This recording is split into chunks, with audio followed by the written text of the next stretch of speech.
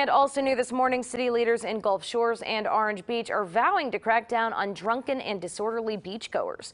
Orange Beach Mayor Tony Kennon is warning spring break visitors behave.